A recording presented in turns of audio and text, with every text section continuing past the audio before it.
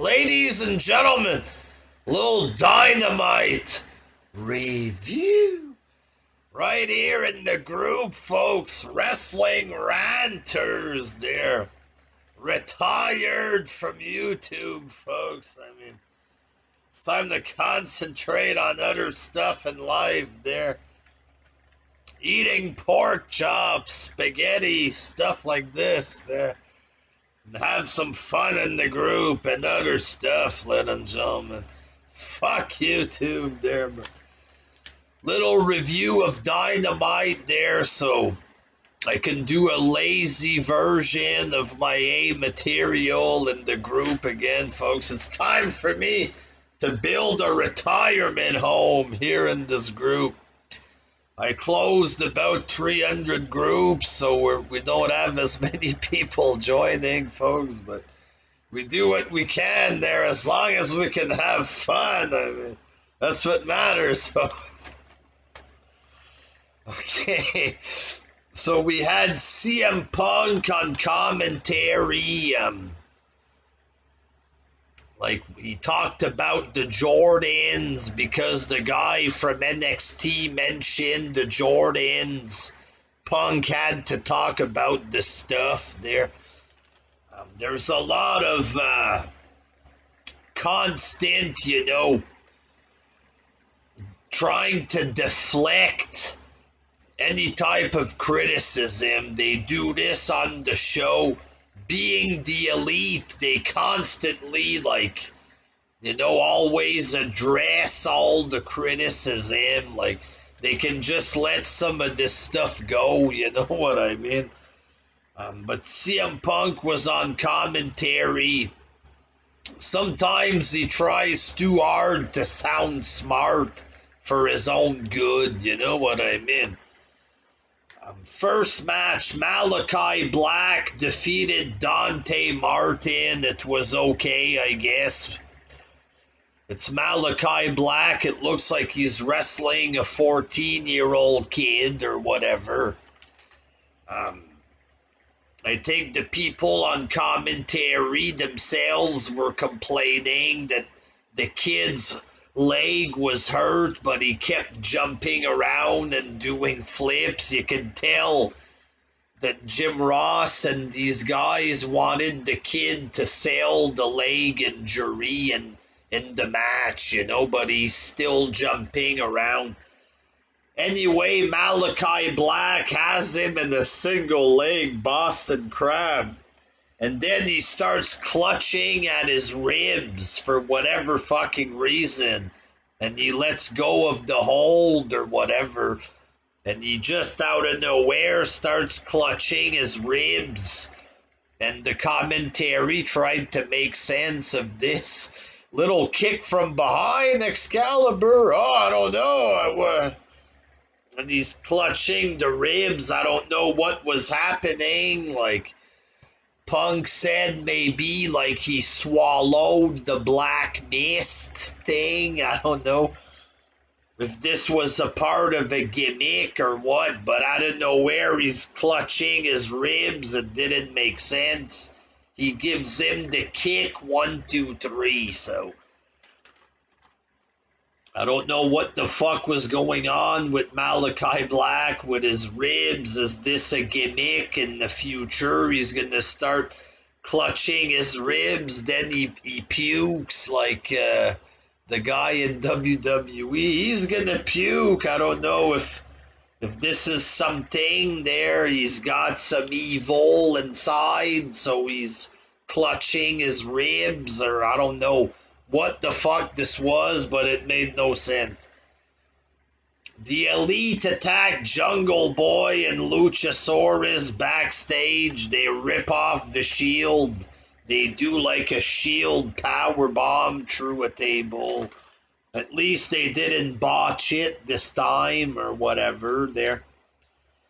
Um, Jericho and the Inner Circle had a promo with Dan Lambert and American top team. It was okay, I guess, the promo. Lambert was talking about Sammy Guevara. He says there's only one guy in the group who has a title, and it's Tiny Tim. He calls him Tiny Tim. and AEW fans, they don't want this guy around. He's the best talker there, you know because he bashes the promotion. Oh, you, you should leave. Get a fucking life immature fucking losers. Like the Dan Lambert guy is the best talker they have in this company. Way better than CM Punk. Um, second match, and this was fucking weird here. It's Lucha Brothers defending the AAA Tag Team Championships against friends of Andrade, against some of Andrade's friends, and then La Superanos come out, a couple of guys with green suits. Apparently, this means super frogs. And uh, CM Punk, hey, let's talk about the elephant in the room. This is FTR. It's FTR in those outfits. So they take the masks off first. One of the FTRs was trying to take off the mask of the other guy, and then Excalibur says that would be a DQ in Mexico. This is for the Mexican tag team titles, so it's under AAA rule. That could be a disqualification. But then Lucha Brothers start taking off the mask of FTR. Oh, we're told this is under AEW rules. Uh, there's no DQ if you take off the mask. So amateurish, you know what I mean? But then they take off the mask of FTR, you know what I mean? And then it shows that it's FTR. But Punk already spoiled that on like on commentary. Was he supposed to spoil it? Is it a thing that they come out with this outfit? It's supposed to be obvious it's them, so Punk just says it's them not to mess with intelligence of the smarks or whatever. But by doing this, it kills the potential surprise that it's them. Here's my main question why the fuck did FTR come out like this? They're on the roster. Why wasn't this just advertised as FTR versus Lucha Brothers for the AAA championships. Why?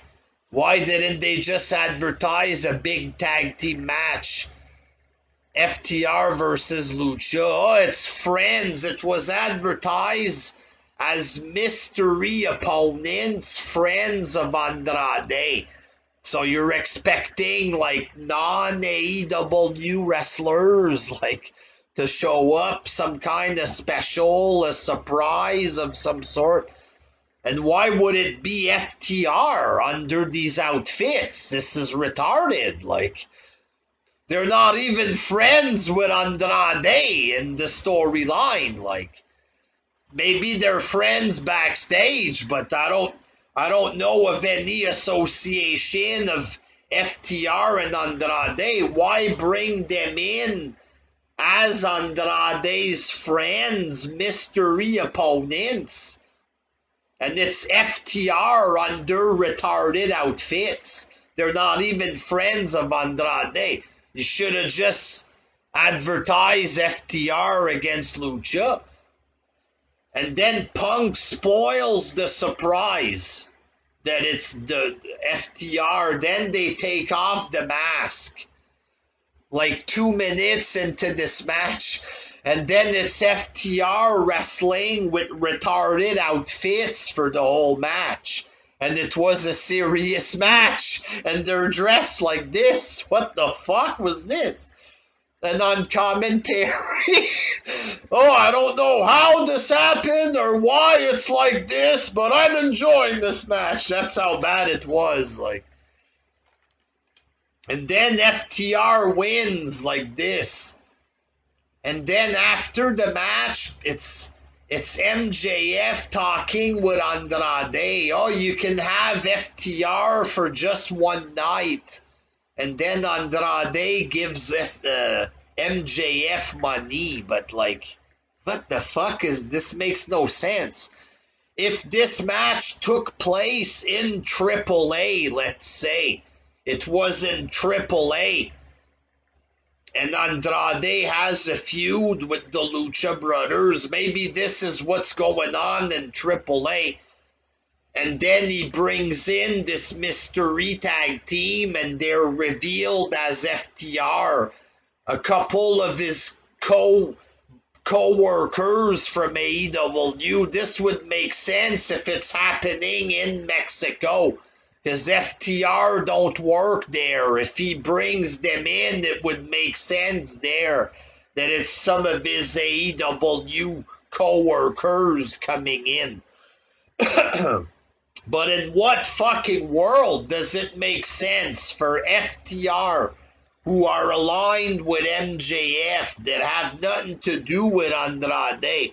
How are they brought in as Andrade's friends?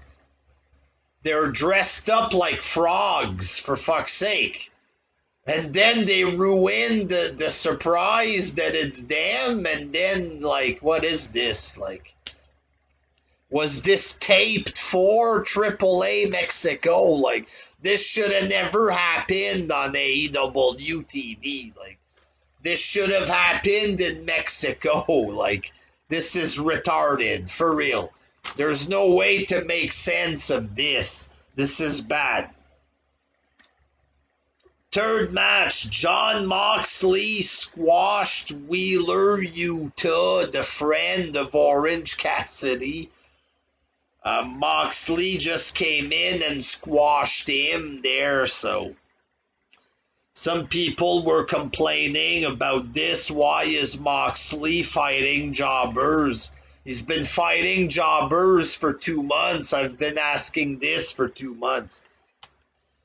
Lucha Brothers and Adam Cole defeated the Dark Order. This was an okay match, I guess. And then Jungle Boy came out because they attacked him earlier. He came out with a chair and he was pissed off and like four guys plus Don Callis run away from little Jungle Boy with his chair. Jungle Boy was trying to act like an angry, tough guy wrestler, but uh, wasn't really convincing to me there. But then you had some weird ass fucking Cody Rhodes cinematic shit He's at his training facility with Arn Anderson. He walks there. It's all cinematic, you know, it's Red Velvet, Lee Johnson, and other jobbers. You've gone Hollywood, Cody! Lee, uh, Velvet, whatever, says, and then she slaps Cody in the face, and then it's Cody training, and these wrestlers are coming at him, and it's like cinematic. It, they're acting like if wrestling is real, and he's training kind of deal. It was very weird, and he was training for Malachi Black, and this was pretty much designed to try to get the fans to cheer for Cody. Like, oh, you remember when your dad put stitches in my head, did people cheer for me? Did they feel bad for me and, uh, and boo your father? No, because I deserved it back then. And Malachi Black deserves it. So this is to try to, I guess, stop the fans from booing Cody. But this was just fucking weird. Like, this was another weird thing here, there. Like, then you had MJF cutting a promo uh, I have a match with Darby Allin tonight, but Darby was injured or whatever, so he wasn't there. MJF's talking shit. He gets a referee to come out to count to 10, but then Sting comes in with the baseball bat. MJF sacrifices Wardlow or whatever, and he runs away, which was a bit funny. Then he goes to come back to fight Sting, and then he leaves again. M- MJF was funny here, there. Fifth match, Penelope Ford defeated Kiera Hogan from TNA in a shit match. Then Ruby Soho came out to get her revenge from last night, boy. Um, like, how long are people going to pretend that uh, Ruby Soho is a big deal? Can can they just stop this, please? There, with her shitty fucking punk wannabe song, Ruby, Ruby, Ruby, Ruby Soho. Like, and they they're trying to get the fans to sing this thing, fucking cringe fast and a half. Move on, please. Then we had a promo from Adam Page, the number one contender, boy. Um, the promo was. It wasn't a bad promo there, cowboy shit this, cowboy that. I was beat. I found myself again. Uh, I'm going to win the title. I believe in myself.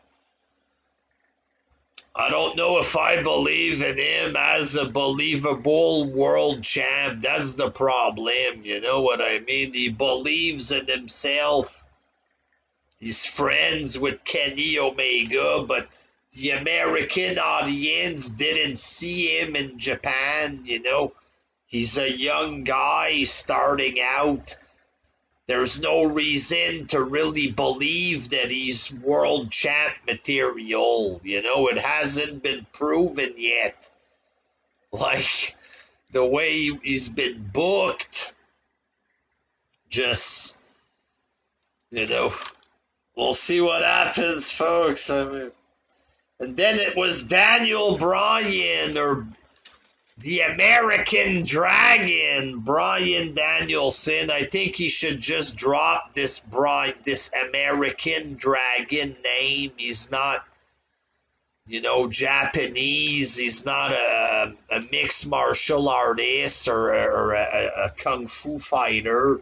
The American Dragon, like, why? Like, if he was in Japan, there if he was in a ninja movie and he's the great white ninja or whatever, hey, I'm the American dragon here in the foreign uh, land in Japan there. Okay, but like you're in America, you're not a karate guy. Why call yourself American Dragon? Like, you know what I mean?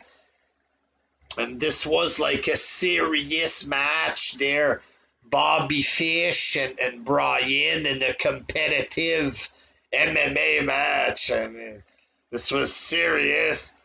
I, I, I spent most of the time eating my hamburger helper, folks. There I was eating my lasagna hamburger helper, ladies and gentlemen. Wasn't paying as much attention to Bobby Fish as I should have been, folks. But um, Bryan, he won with this leg maneuver or whatever, just a basic leg submission. You know, and that's the thing, apparently. Daniel Bryan on the indie circuit, he would end wrestling matches with different moves. He might end with an arm bar, some kind of pin, a small package and I get the idea that if wrestling was real, you wouldn't always end with a finishing move. You might end the match with a submission. Like, I get it, what the thought process is in this. But a boring, stiff match with a boring, stiff like Bobby Fish, it looks like two midgets pretending to be fighters there. Um, you know, the American midget, this call himself this, but I like Bryan there, but two midget pro- pretending to be tough guy. The match ends with a fucking cheap fucking leg submission, not even a cool looking submission move. I don't find that entertaining personally, you know what I mean? I understand indie fans, it's a weird, different mentality there. But if you want to actually attract real wrestling fans who aren't weird and psycho there, you know, you have to do more entertaining stuff. I thought the show, a lot of it is bad on paper a lot of it sounds terrible and a lot of it was. Like i thought some of it was okay when i was watching it. It wasn't good like. Oh, fuck i don't know man. I don't know it's i enjoyed some of it but it's bad writing. This stuff with ftr dressed up like frog. What the fuck is that? Like what is this you know, and the main event, that's not main event material, Bobby Fish, and it ends in a cheap cornball submission. Like, I don't know. This show has potential to be better if you had regular stuff, but there's too much indie junk. Get rid of the indie junk, have a regular show for the love of fucking shit. Like, woo, it's hard watching this program today. It felt tough, folks. Well, here you go there. You got a bit of A material in the group there. Um, I'm probably going to get a bit more lazy there, but I'm going to be doing some shit in this group. Live shows, videos. I'm going to have a good time here, there. I'm done with with YouTube stuff. I'm just going to do like real life post some stuff on my regular Facebook timeline, maybe food reviews, stuff like this for fun, you know. Not make it wrestling Jesus on my regular timeline there, you know what I mean? I want to be a human being, folks, not just a guy that talks about wrestling there on my Facebook profile, you know. But here in the group, I'm going to keep the, the wrestling Jesus spirit alive or whatever. There, give y'all some material, but I'm done with the YouTube, folks. It's time to grow old and, uh, get ready to die at some point, folks, but I need to enjoy life and not just fixate on fucking YouTube. It's time for fun, ladies and gentlemen. Have some fucking fun. Have some fun. Until next time, peace.